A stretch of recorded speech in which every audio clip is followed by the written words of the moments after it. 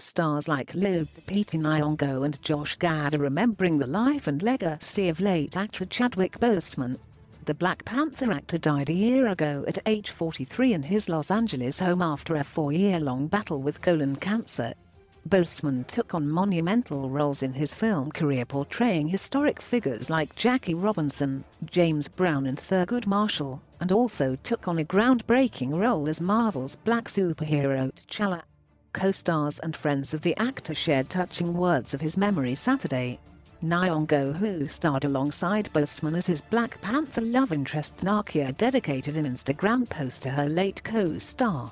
I did not know that I could miss both his laughter and his silence in equal measure. I do. I do. She wrote in a caption for a photo of the two of them laughing together. One year after his passing, the memory of Chadwick Boseman remains this alive in me.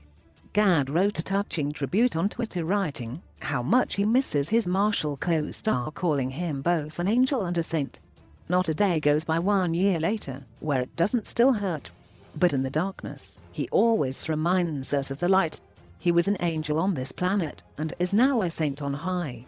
Love you and miss you more than ever. Forever. Number Chadwick Boseman, he wrote.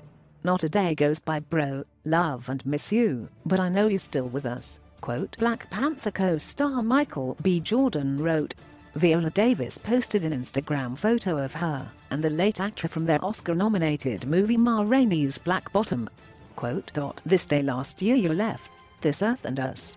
Man you are missed. Davis wrote, One year without Chadwick Boseman. Thank you for watching over us. We miss you King, Kerry Washington wrote. Can't believe how fast time has gone. Thinking of you today, at Chadwick Boseman, Avengers actor Mark Ruffalo wrote. Boseman was born in Anderson, South Carolina, and graduated from Howard University in 2000. He was just stepping into the prime of his career. After starting out on TV shows like Lincoln Heights and Persons Unknown, quote, Boseman had his breakthrough playing Robinson in 2013's 42, and then a year later inhabited the colorful wardrobe of R&B superstar Brown in Get On Up. This experience is an opening for people's consciousness. Their boundaries should be shaken and moved, Boseman told USA Today in 2018 of his role in Black Panther. Quote, There's a hero here that I hope people grow to love,